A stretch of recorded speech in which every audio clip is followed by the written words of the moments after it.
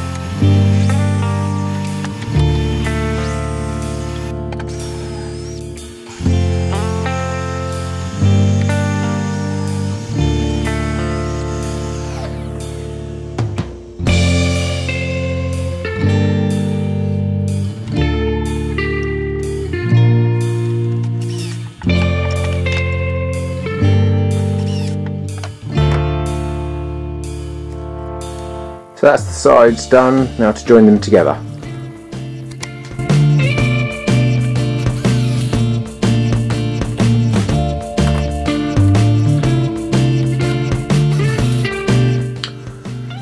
So that's the frame complete now. The top will just sit on there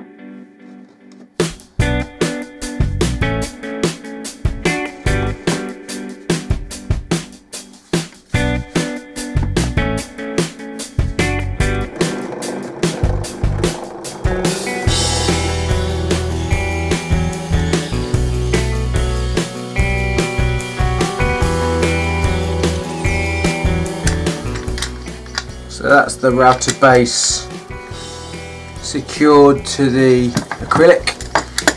It just drops in.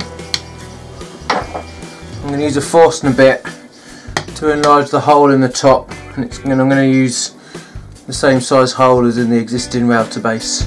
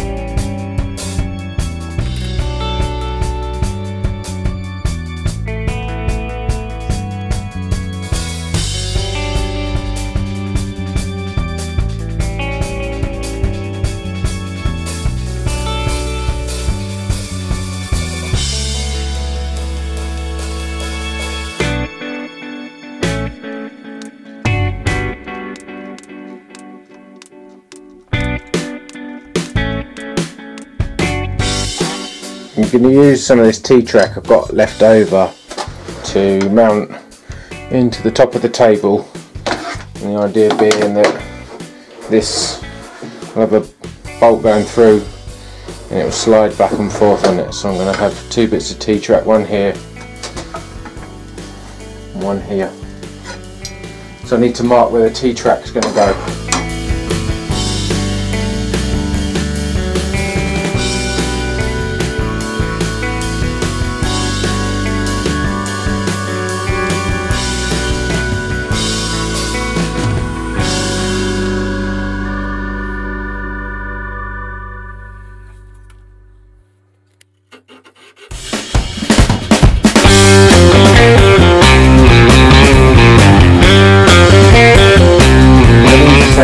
use to work out the uh, centre of the table. But first I'm going to actually screw the pieces of uh, T-track in.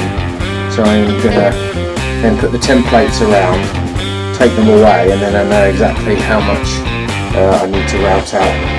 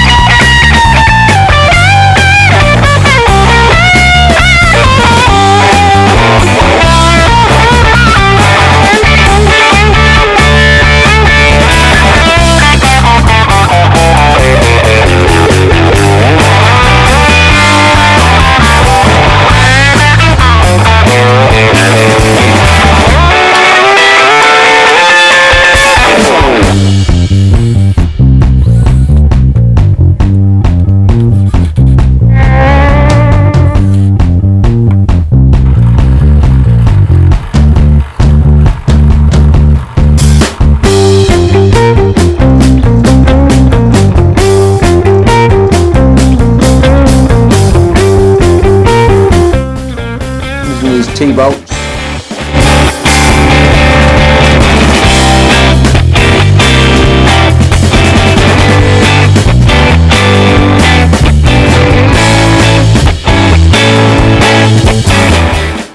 So that's the sliding mechanism done. You can turn these,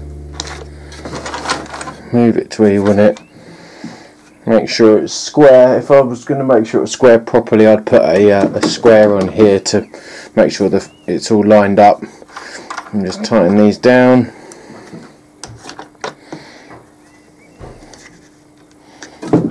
And there's your fence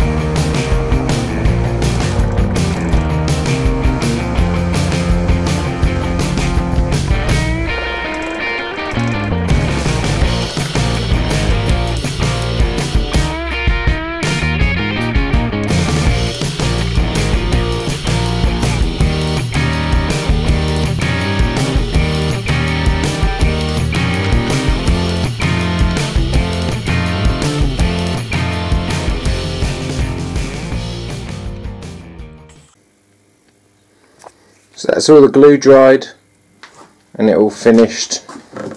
I've installed the router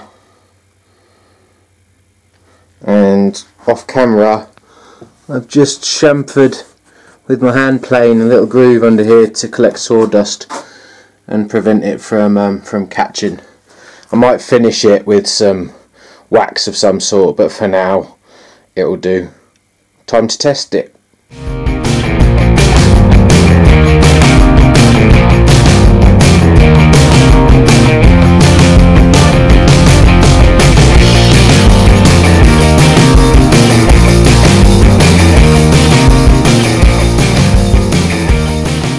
Chamfer bit there and as you can see it's put quite a nice edge on. Nothing too uh, fancy but this is exactly the sort of stuff that I want to use the, the router for. Um, I'm going to crank it up a little bit higher and uh, just take a bit more off.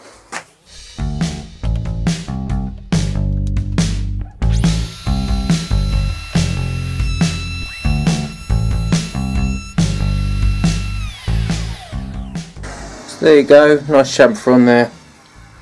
What I'm particularly pleased with is the uh, is the dust extraction. There's um, there's no dust floating around. It's a really good design. I wish it was my own, but um, it's not. But it's uh, it's definitely working how it should. So happy with it. So that's the end of the video. I hope you found it useful. I'm really pleased with how the router table turned out.